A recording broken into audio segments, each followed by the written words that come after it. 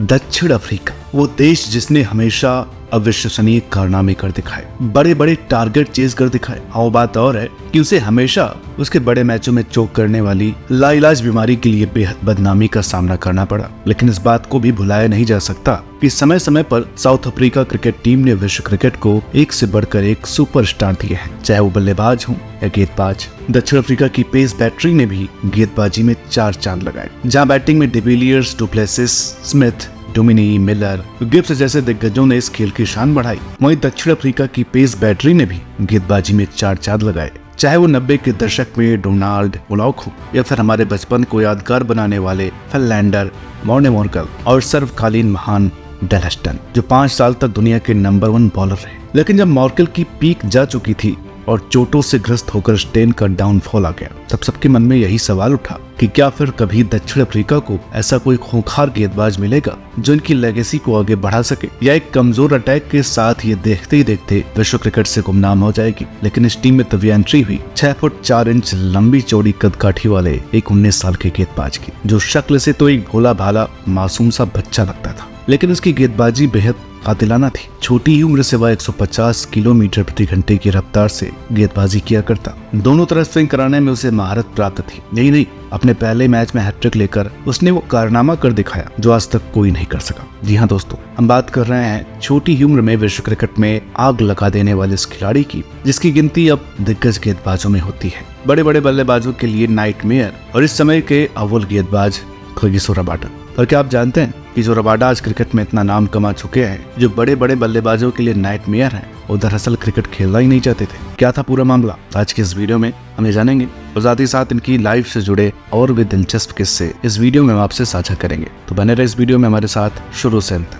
और हाँ बहुत दिनों से आप में से बहुत सारे दर्शकों की कगिसो रबाडा पर वीडियो बनाने को लेकर के डिमांड आ रही थी। तो अगर आप उन्हीं में से हैं तो वीडियो को पूरा पूरा ज़रूर देखिएगा। कगिसो रबाडा का जन्म 25 मई उन्नीस सौ पंचानवे को जोहान्सबर्ग में हुआ। रबाडा के पिता एक डॉक्टर है। वहीं उनकी माँ एक वकील है। आपको बता दें कि रबाडा वेंदा समुदाय को बिलोंग करते हैं, जो कि अक्सर डार्क कम्प्लेशन के होते हैं। उन्होंने अपनी पढ़ाई ब्रेस्टन पैरेलल मीडियम स्कूल से पूरी की। रबाडा को बचपन से ही रग्बी में बेहद रुझान था। वह एक रग्बी खिलाड़ी बनना चाहते थे, लेकिन ऑफ़ सीज़न में वह क्रिकेट भी खेला करते अपने स्कूल की रग्बी टीम में स्थान हासिल कर उन्होंने अपने स्पोर्ट्स करियर की शुरुआत की। सब कुछ अच्छा चल रहा था। लेकिन एक दिन उनका ये सपना टूट गया। जब दक्षिण अफ्रीका के लेबल ए के रग्बी सिलेक्शन में उन्हें नजरअंदाज कर दिया गया, जिसके बाद रबाडा ने क्रिकेट में ही अपना भविष्य बनाने की सोच ली और अपनी पूरी एकाग्रता जी जान इस खेल में झोंक दिया। परिणाम स्वरूप अपने स्कूल की क्रिकेट टीम में स्थान बनाया जब कोई व्यक्ति किसी लक्ष्य का पीछा करे और खुद को हार्ड वर्क कमिटमेंट और कड़ी मेहनत की भट्टी में झोंक दे तो फिर उसे तो सोना बनकर निकलना ही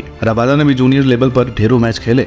और अपने गेम में काफ़ी सुधार किया और स्पोर्ट्स स्कॉलरशिप भी हासिल की। साल 2013 में रबाडा ने डोमेस्टिक क्रिकेट में अपना कदम रखा, लेकिन इस सत्र में उनका प्रदर्शन कुछ खास नहीं रहा। पर कहते हैं ना कि हीरे की असली परख एक सच्चे जोहरी को ही होती है पर एक काम किया साउथ अफ्रीका क्रिकेट टीम के सिलेक्टर्स हैं, जिन्होंने उनकी काबिलियत को पहचाना और 2014 में होने वाले अंडर 19 वर्ल्ड कप के लिए टीम में रबाडा का चयन हुआ और रबाडा ने इस मौके को दोनों हाथों से कबूल करते हुए टूर्नामेंट में कमाल कर दिखाया और अपने टैलेंट के खजाने को सभी फैंस के सामने बखूबी पेश किया। तेज दर्रा रफ्तार, दोहरा स्विंग और सटीक लाइन लेंथ की घातक समावेश जाती इनकी गेंदें मानो खुद ये कह रही थी कि क्रिकेट की दुनिया में राज करने वाला रफ्तार का नया सौदागर आ गया है। उनका वो खूबसूरत एक्शन कमाल का स्मूथ रनर अप गजब की सीम पोजीशन सब कुछ पोएट्री इन मोशन था। ऑस्ट्रेलिया के साथ सेमीफाइनल मुकाबले में तो रबाडा ने आज 25 रन देकर छह विकेट लिए और अपने तूफानी स्पेल से खूब कहर भर पाया। अब हर तरफ़ उन्हीं के चर्चे थे। इनकी शानदार गेंदबाजी के दम पर इस विश्व कप को दक्षिण अफ्रीका ने जीत लिया। चौदह विकेट लेकर दूसरे हाईएस्ट टेकर विकेट रहे रबाडा।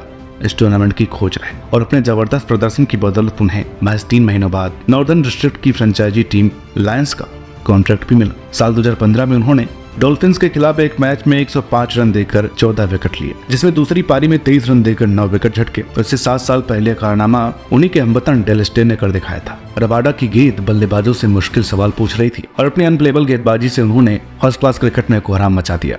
इसकी बदौलत उन्हें अब दक्षिण अफ्रीका की सीनियर टीम से भी बुलावाया और नवंबर 2014 में ऑस्ट्रेलिया के खिलाफ टी खेल अपने अंतर्राष्ट्रीय क्रिकेट में कदम रख दिया, पर उन्हें अपने पहले मैच में कोई विकेट नहीं मिला। अगले साल बांग्लादेश के खिलाफ इन्हें अपना ओडीआई डेब्यू करने का मौका मिला। यहाँ जो उन्होंने करके दिखाया, ऐसा करने का आप और हम केवल सोच ही सकते हैं। अपने ड्रीम डेब्यू पर उन्होंने हैट्रिक ले डाली, जिसमें तमीम इकबाल, लिटन दास और महमूदुल्ला जैसे नामी बल्लेबाजों के विकेट शामिल थे। अपने डेब्यू पर ही हैट्रिक लेने वाले महज दूसरे गेंदबाज बने। तीन ओवर, तीन मेडन और मात्र 16 रन देकर छह विकेट झटक मैन ऑफ़ द मैच बने। इसके कुछ ही समय बाद उन्होंने मोहाली टेस्ट में अपना टेस्ट डेब्यू किया। हालाँकि इस मैच में उन्हें विकेट एक ही मिला, लेकिन वो विकेट था किंग कोहली का। खाता भी खोला तो क्या कमाल के खिलाड़ी से। जो झलकियाँ उन्होंने में दी, उससे एक बात तो साफ़ हो गई। कि बंदा क्रिकेट की दुनिया में तबाही मचा देगा, और ऐसा ही हुआ। 2016 जनवरी में इंग्लैंड के खिलाफ चौथे टेस्ट में चोटिल स्टैन और फिलेंडर की एब्सेंस में कमज़ोर दिख रहे अटैक कर रबादा ने मोर्चा संभाला और पहली पारी में सात और दूसरी पारी में छह विकेट झटक कर अकेले ही इंग्लैंड की कमर तोड़ दी और अपने नाम तेरह विकेट किए। अपनी घातक गेंदबाजी के लिए मैन ऑफ़ द मैच बने। 2016 जुलाई में क्रिकेट साउथ अफ्रीका के एनुअल अवार्ड सेरेमनी में रबाडा ने छह अवार्ड अपने नाम किए और ऐसा करने वाले वे अपने देश के पहले खिलाड़ी बन गए। और ये कहर अभी थमा नहीं था। 2017 के इंग्लैंड दौरे पर लॉर्ड टेस्ट में रबादा ने इंग्लैंड के पूरे बैटिंग ऑर्डर को तहस नहस करके रख दिया और उनतालीस रन देकर चार विकेट झटक इंग्लैंड को मात्र एक सौ तिरपन रनों पर ढेर कर दिया। इसी स्पेल के बाद इमरान ताहिर को पीछे छोड़ वो रैंकिंग में नंबर एक गेंदबाज भी बने। 2017 यू समय था जब इस घातक गेंदबाज को आईपीएल में दिल्ली की टीम ने उन्हें अपने साथ जोड़ा और उन्होंने इस लीग में डेब्यू किया।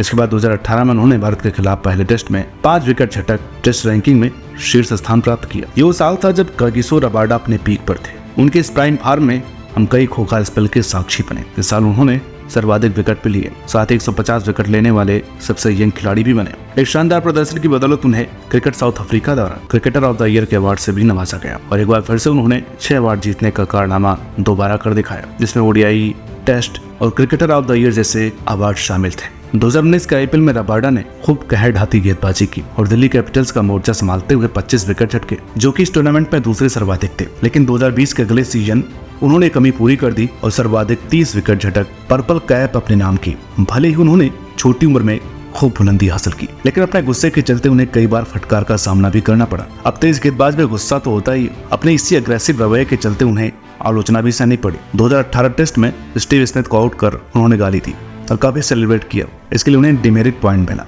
इसके बाद 2020 में इंग्लैंड के खिलाफ टेस्ट में जो रूट को आउट कर उन्होंने बेस ज़ोर से सेलिब्रेट किया। तो उन्हें एक मैच से बैन कर दिया गया। इसके बाद उन्होंने ने गुस्से पर काबू किया और गेंद से सभी को खामोश। 2021 टी विश्व कप में इंग्लैंड के खिलाफ हैट्रिक लेते ही वे टी में ये कारनामा करने वाले पहले अफ्रीकी गेंदबाज बने। साल बदलते गए, जर्सी बदलती गई अपोनेंट बदलते गए सीरीज़ बदलती गई, पर नहीं बदला तो रवादा का विकेट लेने का सिलसिला। वो आते और चुपके से विकेट झटक जाते। 2022 में इंग्लैंड के खिलाफ लॉर्ड टेस्ट में पाँच विकेट झटक वे लॉर्ड ओनर्स बोर्ड पर भी काबिज हो गए। और ये कहना गलत नहीं होगा कि इस वक्त वे क्रिकेट की दुनिया में सर्वश्रेष्ठ तेज गेंदबाज हैं। जिनके पास रॉ पेस जेनविन स्विंग और टेस्ट मैच का भरपूर स्टेमिना कलात्मक मिश्रण, एक एथलीट वाली लाजवाब फिजिक और एक परफेक्ट एक्शन है। उनकी लॉन्ग वेल्टी उन्हें और अधिक लीथल बनाती है। भले फैंस बुमराह कमेंस हेजलबोर्ड या जोफ्रा को हाई रेट करते हो, लेकिन नंबर वन तो रबाडा है, जो किसी से कम नहीं, इतनी भारी भरकम वर्कलोड के बावजूद तीनों फॉर्मेट पे कमाल कर रहे हैं। साथ ही लीग्स में भी धुआँ धुआँ कर रहे हैं, जो की काबिल तारीफ़ है। भले ही अव्वल है, लेकिन काफ़ी मायनों में अंडर रेटेड है। इनकी अधिक बात नहीं होती है। उनके आंकड़ों को अगर देखा जाए तो उनके नाम साठ टेस्ट, नवासी ओडीआई, छप्पन टी ट्वेंटी में क्रमशः दो सौ अस्सी, एक सौ सैंतीस, अट्ठावन विकेट है। साथ ही तीनों फॉर्मेट पर हैट्रिक लेने का अद्भुत कारनामा भी किया है। तो दोस्तों, ये थी कहानी इस समय के अव्वल तेज गेंदबाज और हफ्तार के सौदागर कैगिसो रबाडा की। आज की इस वीडियो में इतना ही। उम्मीद करते हैं कि आपको ये वीडियो पसंद आई होगी। वीडियो अच्छी लगी हो तो प्लीज़ इसे लाइक करें शेयर करें। चैनल पर नए हो तो प्लीज़ इसे सब्सक्राइब करना ना भूलें। मिलता आप अगली वीडियो में। तब तक के लिए नमस्कार।